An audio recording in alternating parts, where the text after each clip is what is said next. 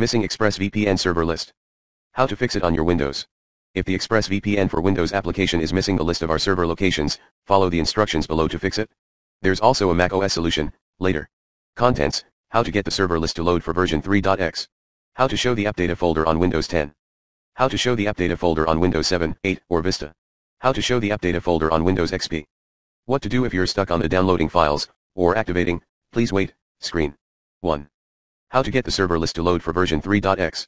Close or quit ExpressVPN if it's open. Refer to the below image. Open my computer and browse to this directory, on Vista or Windows 7, c colon backslash users backslash appdata backslash roaming backslash expressvpn backslash ilk.dat.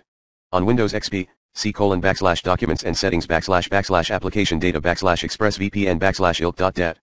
Inside the ExpressVPN folder, please delete the file named, ilk or ilk.dat.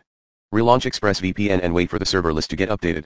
If the server list still won't load correctly, even after deleting the ilk file, please delete all the contents of the ExpressVPN folder, then relaunch ExpressVPN and try activating the software anew. Note, the app data or application data folder is hidden by default. If you can't find the folder, then read on to find out how to unhide your hidden folders. 2. How to show the app data or application data folder on Windows 10.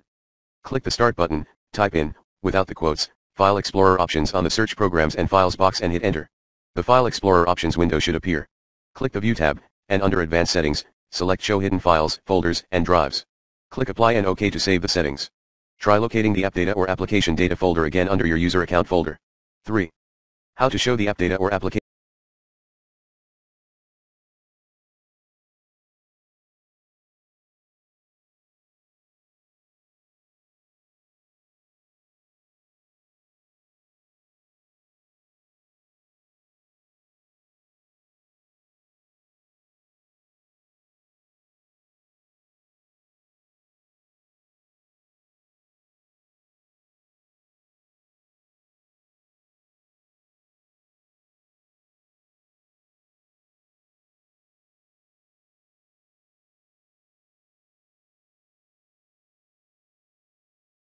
data folder on Windows 7, 8, or Vista. Click the Start button, type in, without the quotes, folder options on the Search Programs and Files box and hit Enter. The folder options window should appear. Click the View tab, and under Advanced Settings, click Show Hidden Files, Folders, and Drives. Click Apply and OK to save the settings. Try locating the app data or application data folder again under your user account folder. 4.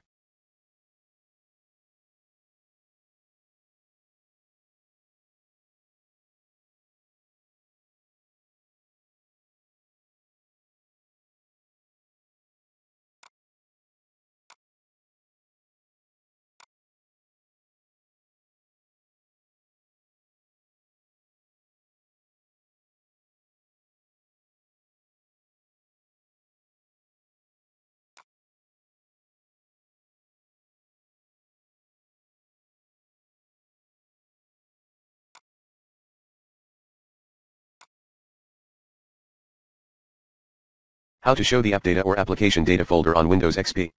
Open my computer. Under the menu options, click on Tools click Folder Options. Under Folder Options, click on the View tab. Under Advanced Settings, find the Hidden Files and Folders option. Select Show Hidden Files and Folders and click OK.